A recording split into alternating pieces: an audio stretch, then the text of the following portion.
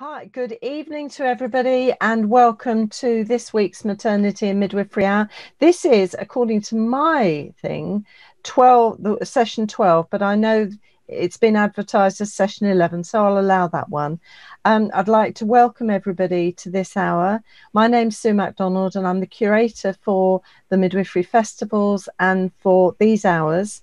And these hours were specifically designed, and, and forgive me, those who people who've come in before, but these were designed to provide continuing professional development for midwives, student midwives, people who want to become midwives, and other people who are interested in maternity care.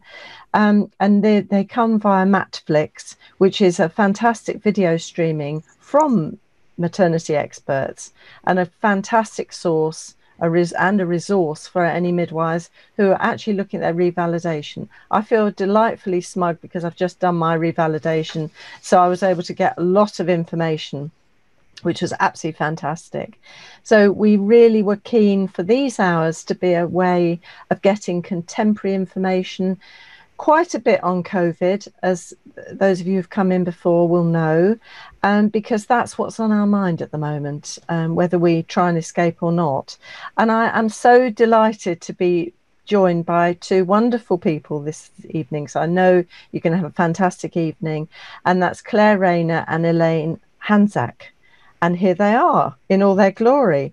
We're going to be discussing long COVID lessons for midwives in where you can say lessons for midwives, information for midwives, certainly. Now, we always start with a little moment of the week just to lighten the kind of uh, atmosphere and get people thinking positive as well as more challenging material. So, perhaps, Clare, would you be able to share your moment of the week? Yeah, my moment of the week was I, I don't have children myself, so my nieces are my surrogate children, and my 14 year old niece, well, she just turned 14, and I saw her opening her presents on FaceTime, and I hadn't seen what I'd got her because somebody else had ordered it, and she'd asked for a crescent shaped mirror. And she just opened it, and her face was so delighted. So that was my moment of the week. And also, not just to see her happy, but to see her develop as thinking, oh, she she wants that for her room. She's got an idea. I really like Fantastic. that. Fantastic. She sounds like she might be one of these interior decor people in the future. Maybe. It's looking like that. Fantastic. Thank you for that. How about Elaine? I know you had an interesting one too. yes, I I think like probably many of us, I confess to a little bit of daytime TV, and no. I know scandalous. And I happened to catch a, one of the episodes of Tipping Point, and there was a lady on with red boots. And I remember I looked at them and I sighed and I thought, oh, they're just like the ones that I have that must be dusty at the bottom of the wardrobe. Mm-hmm. Because as you will hear, it's been many months now since I wore anything on my feet other than slippers or trainers. And the thought then suddenly crossed my mind that, along with the great news about the vaccination, that wow, just maybe soon the red boots might re-emerge. and it, it filled my heart with joy. Wonderful. well, I like to think I like to think the red boots will come into their own. yeah. That sounds that's a very positive. Thank you so much for sharing your positive moments oh, because these are difficult times and, and, and everyone knows that most of the uk is under different tiers and some of you will be under three some of you will be two. If you're lucky you're under one so you can communicate more with the people around you. But we're, we're looking at christmas and it's there's going to be a few little bit more flexible arrangements. You must follow your instructions though. And if you haven't got the nhs um, COVID app, it's worth getting that just to keep a check on what your local arrangements are. And also, you are meant to check in whenever you go in somewhere with your little um, phone. I've just got used to doing the scanning bit myself, and it's very magical. And that's meant to make sure that you're told if you come in contact with anywhere where there might be COVID infection and what to do then. So it's useful doing that.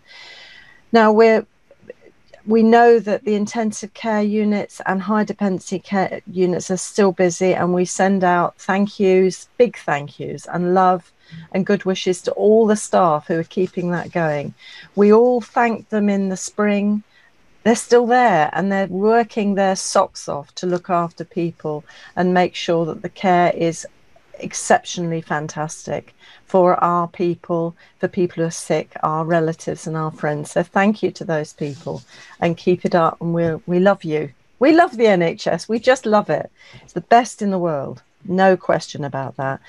Um, and we also actually need to give a big virtual hug to our people in maternity care because they're they're not doing the necessarily the COVID care, but they're making sure the service keeps going. They're making sure women and their babies are cared for and given information and and looked after. So also a big thank you to them. We know you can't cancel childbirth and, and pregnancy, and people are scared. And so we need to make sure they're, they're cared for. And for anyone, and that's especially relevant to this evening, we want to spend special love and care to the people who are going through either COVID or the after effects of COVID or long COVID. And we're going to hear, hear more about that and how to help people who are experiencing that. And you may have people in your family, you might yourself have been suffering, and this I hope this will be really helpful. So, and the final big thank you is to all the key workers everybody who keeps the place going and that's from the shop people to the transport to the rubbish the now refuse collectors everybody who keeps everything going. We don't take we mustn't take it for granted because they're doing their bit for to keep everything going for us. Now of course the big news this week big big news is the F- pfizer vaccine has arrived and is being distributed and given to those primarily at the moment over 80 plus home care workers and frontline NHS staff at the moment. It's obviously going to take quite a long time. But it has been, and I think anyone who's who's watched the um, footage on the news is, will have been as heartened to see those people getting their vaccinations and how positive that is for the future. So we're all going to get access to these vaccinations. It's going to take a while, but it's great to see it being rolled out. Fantastic. Okay, other news for us. Um, December is Human Rights Month, an important area we need to think about. And it's also this week is National Grief Awareness Week. And some people will have heard people talking more on the radio, on the TV about loss and grief and how they're dealing with it, and kind of uh, being very aware that grief doesn't get sorted out within, you know, you, you've dealt with losing someone, you just get on with life. We we know that, and we need to really focus on that. So have a look at some of the resources to get more information on that. It's also International Anti-Corruption Day. I don't quite know what we do on that day. Probably try not to be corrupt. That would be a good pl- place to start. I was also noticing there's a very interesting campaign from the Rosie in Cambridge called Ditch the Doppler.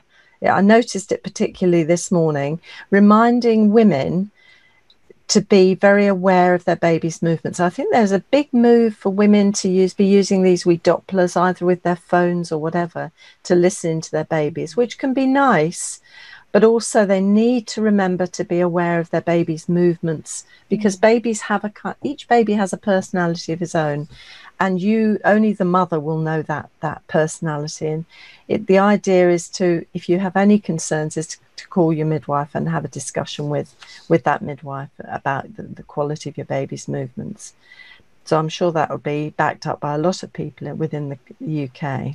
Also, the MBRRACE launches this week. So that's the confidential inquiries. That's online on the Thursday and 10th and 11th for those of you who can have some time to um, be on the online activity.